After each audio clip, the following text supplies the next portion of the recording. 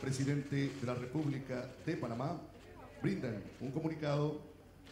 Infinidad de oportunidades que existen en China. Lo felicito. Recibir por primera vez en la historia de Panamá a un presidente de la República Popular China es motivo de celebración, no solo de mi gobierno, sino también de todas las fuerzas políticas y el pueblo panameño en general. a la comunidad chino-panameña y la importancia de seguir fomentando. Une a dos océanos y su visita consolida.